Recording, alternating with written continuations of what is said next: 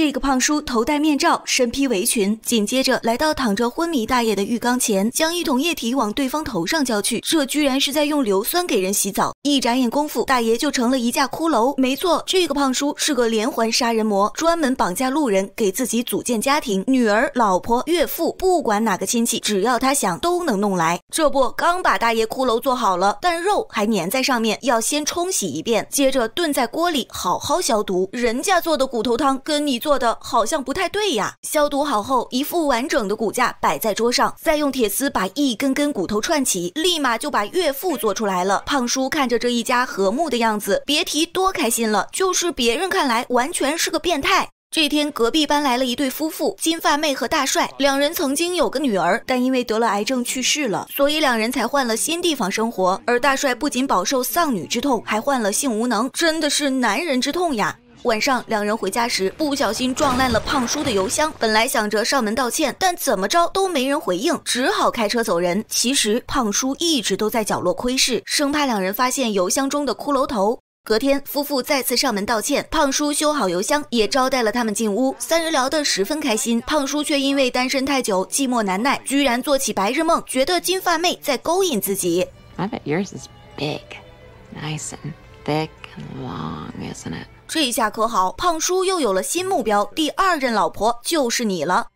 这个胖叔很有孝心，还会亲自给老母亲洗澡，但这洗的哪里是人，是一架血肉模糊的尸体啊！这个连环杀人魔太变态了。晚上，邻居夫妇邀请胖叔吃晚餐，几杯酒下肚后，金发妹无意间道出老公大帅不给力，导致夫妇俩关系不融洽。胖叔这一听，内心都乐坏了，这不给我钻空，好下手吗？为了验证这个事实，吃完饭后，胖叔还特意溜到后院，看到夫妻俩在吵架，果然夫妻不和是真的。胖叔回到家里，和老婆表示自己要休了她，找第二个老婆。本来两人就快大吵起来，但胖叔看在女儿就在一边，也只好忍住火气，不让女儿幼小的心灵受到伤害。睡前，女儿表示自己想要个姐姐。胖叔一听，没问题，明天就给你弄个过来。说完，胖叔便哄着女儿入睡。然而，他一直抱着的是架女孩骷髅，真是令人毛骨悚然。这个胖叔是个连环杀人魔，他来到校园外，准备物色新目标，只为替自己的骷髅女儿找一个姐姐。这个女孩虽然看似文静，但内心根本就不纯洁，不合适。下一个，这个女孩抽烟烫头又喝酒，虽然是个好女孩，但还是不合适。哎，接下来这个女孩讨厌生活，讨厌一切，自卑到了极点，是最合适的人选，就找她了。胖叔开车一路尾随对方，结果跟得太入迷，一不小心就出了车祸，撞得脑袋。鲜血直流，眼见这么多热心市民围上来，他也只好放弃下手的机会。因没有成功作案，胖叔很是气愤，想着绑走邻居大帅，把他的老婆金发妹占为己有。但两人家离得实在太近，怕警察上门调查发现他的秘密，也只好把想法憋在心里。然而转折点却出现了。几天后，胖叔发现一辆警车停在夫妇俩家门口，一问金发妹原因，这才知道大帅居然失踪好几天。胖叔一听，心里乐得开花，这不是天。助我也吗？一番 PUA 下来，成功说服金发妹晚上去自己家吃饭。有了下手的机会，胖叔立马将自己的第一任骷髅老婆抱进地下室，紧接着。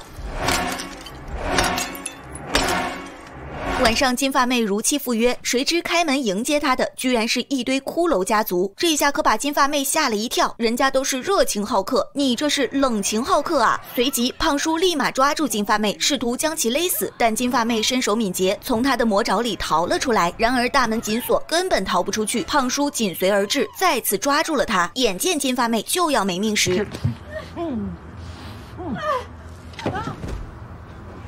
居然是大帅出现了，这到底是怎么回事？不一会儿，胖叔苏醒过来，眼前是穿着手术服的夫妻俩，而他则被绑得无法动弹。此时，大帅道出了真相：其实他们一直都在追踪胖叔这个连环杀人魔，因为他们的女儿并非死于癌症，而是被胖叔杀害的。女儿现在就是他们家里的那具骷髅。两人费尽心机给胖叔下了各种圈套，夫妻不和，大帅失踪，都是骗他的。这下才成功把胖叔给抓获。紧接着，大帅将一根铁管伸入胖叔喉咙，里面装着的都是硫酸。你不是？喜欢给人硫酸洗澡吗？那你也来试试体内给硫酸洗澡吧。这一下，恶人自有恶人磨。这部剧集令人体会到了反转的魅力。本来以为是部普普通通的惊悚剧，没想到最后这下反转真是让人直呼过瘾。之前埋下的伏笔，等到最后一刻才揭开真相。那么小伙伴们又是否猜出了结局呢？好了，今天的分享就到这里。这部剧集出自《恐怖大师》第二季第二集，欢迎关注科幻战舰，我们下期再见。